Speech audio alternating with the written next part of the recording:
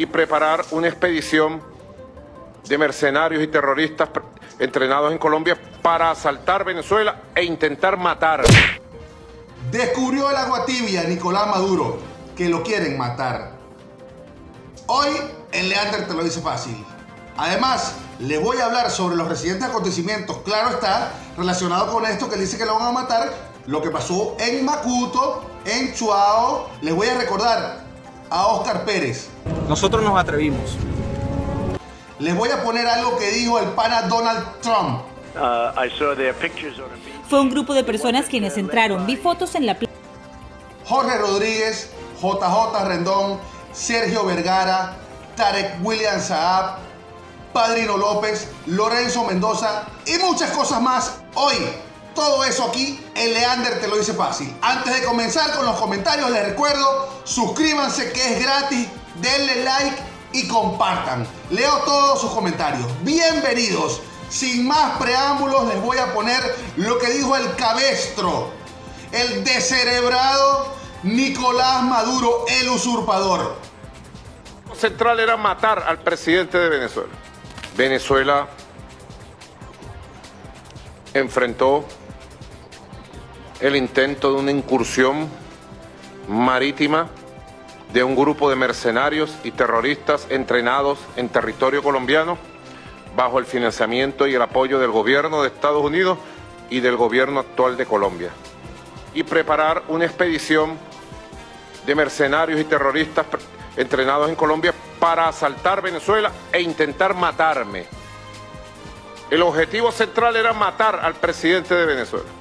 Un ataque terrorista contra la tranquilidad y la paz de Venezuela. Nicolás Maduro, quiero que sepas algo. Al presidente nadie lo quería matar.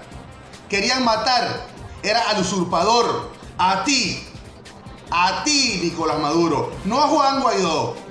¿Sabes algo, chico? A ti te quiere matar todo el mundo, todo el mundo. Hasta los niños te quieren matar porque tú los escuchas en los videos de las redes sociales. Maduro, ¿cómo es tu madre? No hay nadie que no quiera acabar contigo. Tú vas a un kinder, chico, y sufres un intento de raticidio. Porque te van a querer matar como la propia rata que tú eres. ¿Cómo es posible que tú vengas a decir, ay, querían matar a, a mí?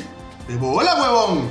Pero, como siempre he dicho y muchas veces lo digo, yo no quiero que te maten. Yo quiero que vayas a una cárcel y pagues por todos tus crímenes. Yo quiero que veas el renacer de Venezuela. Yo quiero que a ti el corazón y el alma se te llene de remordimiento al ver lo incapaz que fuiste dirigiendo un, un país. De verdad que no sirves para un cipote. A todos mis seguidores quiero decirle con mucha responsabilidad que lo que pasó en Chuao y lo que pasó en Macuto es totalmente cierto. A Nicolás Maduro lo quieren acabar. Y, esto no es, no es nada extraño. Van a oír a continuación lo que dijo Donald Trump, que él también dice que es real. Y sigo con los comentarios de esto que está muy interesante hoy. Fue un grupo de personas quienes entraron. Vi fotos en la playa. No fue liderado por el general George Washington, obviamente. Este no fue un buen ataque. Fueron capturados antes de llegar a tierra. Lo que sé es que mi gobierno no tuvo nada que ver con eso, para nada, y que tengo que averiguar qué pasó. Pero si nosotros hubiéramos hecho algo en Venezuela, no hubiera sido de ese modo, hubiera sido ligeramente diferente, hubiera sido llamado una invasión. Escuchen a Donald Trump. Él dice que sí es cierto y que ellos no participaron de ninguna manera en esa operación porque si hubieran participado definitivamente hubieran triunfado. Eso lo sabemos todos. Eso lo sabe cualquiera. Debemos dejar de hacer memes y cosas estúpidas sobre lo que pasó porque esto es cierto, señores. Esto es real. Quiero en estos momentos recordarles lo que pasó en junio del 2017 con Oscar Pérez. Muchísimos, muchísimos amigos, hasta yo inclusive al principio, dudé de la veracidad. Dudé de lo que el hombre quería. Vamos a escucharlo un poquito. Nosotros nos atrevimos. Atrévanse ustedes también. ¿Qué cuidan? El bolsillo y, y los intereses de estos narcocorruptos. Eso es lo que cuidan. Debemos rescatar los valores, la moral y las buenas costumbres de nuestro país. El homenaje a los caídos no es solo estar aquí en este momento. El homenaje, el verdadero homenaje es que esta dictadura caiga. Que quede claro. Daremos hasta la vida si es necesario. Maduro, tu poder se acabó. ¿Qué quiere Venezuela? Ese fue Oscar Pérez. Tuvo el gobierno que matarlo para que nosotros creyéramos que sí era cierto. Tuvo el gobierno que acabar con su vida para que nos diéramos cuenta del semejante error que estábamos cometiendo. Esto mismo está pasando ahorita, que creen que es mentira lo que está pasando. Lo del intento de tomar ciertas cosas en Caracas para sitiar a Nicolás Maduro, eso por supuesto que es cierto. Cuando Oscar Pérez le tiró una granada al Tribunal Supremo de Justicia, que no es una granada esta que es convencional, es otro tipo de granadas, todo el mundo dijo, este es un estúpido, ¿quién cree eso? Y que un helicóptero lo pueden matar con un F-16, con los Sukhoi. Y, la gente desmeritó el hecho, muchísimos. Mira, lo que están viendo a continuación son muchísimas cosas, lo que ven aquí a mi lado, de, lo que dijo la gente sobre eso. Esto es lo que está pasando en este momento. Mucha gente hablando y diciendo que, lo que, está, que la invasión es falsa, que es mentira. Es real, es totalmente cierto. Claro que sí. La gente quiere acabar con Nicolás Maduro porque es un incapaz. Entonces premian a un tipo enchuado que supuestamente este, agarró a los pescadores y los sometió con la furia bolivariana. No vale, este es un carajo que iba pasando por ahí cuando el peo. Lo llaman Noche sin Luna este. Es un negrito que es un escolta, ¿vale? Y ahora es muy famoso gracias a Nicolás Maduro. Es con esto, con esto quieren hacer creer que el pueblo quiere a Nicolás Maduro, que el pueblo lo quiere, que el pueblo lo defiende. No, chico, yo te reto a ti, Nicolás Maduro, a que salgas a la calle. No durarías 20 minutos, la gente acabaría contigo como acabaron con Gaddafi. Ah, contigo también, de cabello, contigo contigo, contigo. Nadie te quiere, nadie te quiere. Yo creo que hasta la mujer tuya te debe tener rechera, porque eres un rolitranco de pajugo, de soberbio. Entonces viene Jorge Rodríguez y da unas declaraciones acerca de todos estos hechos por los dos canales del Estado, Globovisión y Venezolana de Televisión, donde hace una exposición grandísima de todo lo que pasó con Jordan Goudreau, con JJ Rendón, con Sergio Vergara, con lo que dijo Juan Guaidó cuando habló con, con Jordan, porque sí es verdad, chicos, Juan Guaidó habló con Jordan, pero ese no es el problema. Él está buscando la manera de salir de este peo, ¿vale? Está buscando la manera de liberar a Venezuela. Y claro que él siempre lo ha dicho, todas las opciones están sobre la mesa. Y sí, chicos, sí es cierto. Él dice que eso es mentira lo que dice el gobierno de los Estados Unidos, que ellos no tuvieron nada que ver con el, con el intento de invasión super extrasensorial de estos carajos que entraron. Claro, entraron muy poca preparación.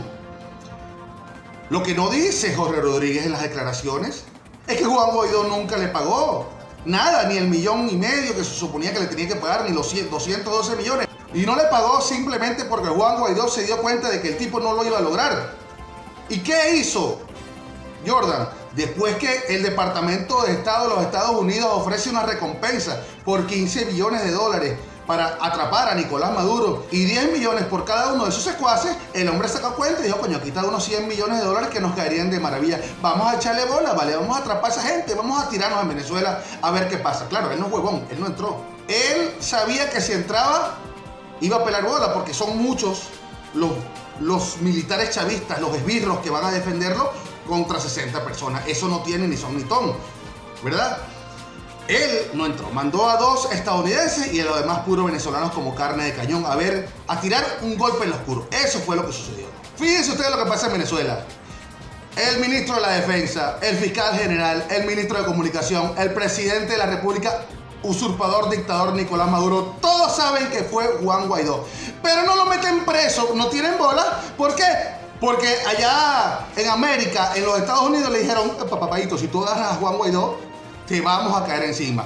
Ah, ellos meten preso a los huevones, meten preso a Requesén porque no tiene muchos dolientes, meten preso a Marrero, al tío de Juan Guaidó, meten preso a 300 más que no, que no tienen doliente. Mataron a Pantera en la incursión por, por Macuto. Claro, porque no tienen mucho doliente. ¿Por qué no meten preso a Lorenzo Mendoza? Pues porque también tiene doliente. Ellos le tienen miedo a, los que tienen poder y no los van a meter preso, no los van a apresar. Recientemente, última noticia, que Tarek William Saab sacó una orden de aprehensión contra JJ Rendón y Sergio Vergara, los que firmaron el documento. ¿Y dónde está la orden de aprehensión contra Juan Guaidó? Le tienen miedo, le tienen miedo a Juan Guaidó porque sí tiene bolas.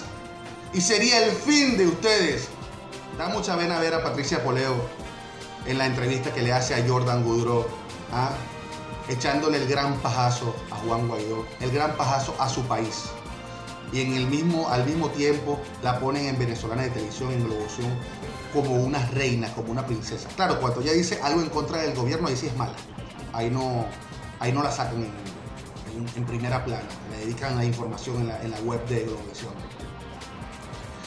Jordan Gudró, señoras y señores, salió hablando porque Juan Guaidó no le pagó. Eso, se arrechó porque no le pagaron se arrecharon, se arrecharon y, tomaron la, decisión de entrar así a los machos. Eso fue lo que pasó y esa es la verdad.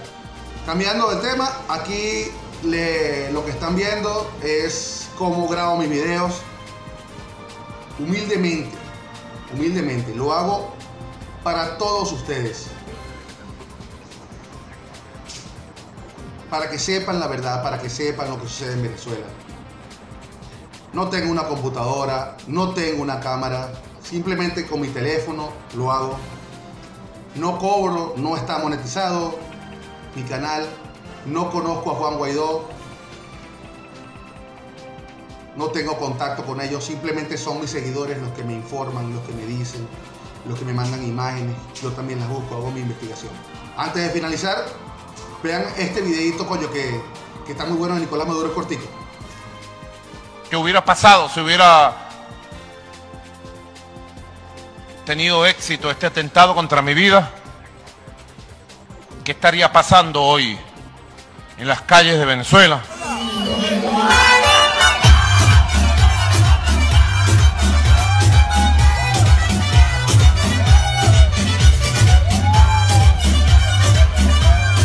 Espero que armemos esa rumba pronto, pronto, de verdad. Esa es una rumba que viene pronto. Fe. Fe que viene pronto. Y, que sea una rumba donde descarguemos esa arrechera que de verdad que le tenemos a ese malviviente. Suscríbanse, compartan, denle like, los quiero mucho. Hasta un próximo video Venezuela. Compartan porque no puedo compartirlo mucho. Yo cuento con ustedes. Un abrazo grande, se les quiere.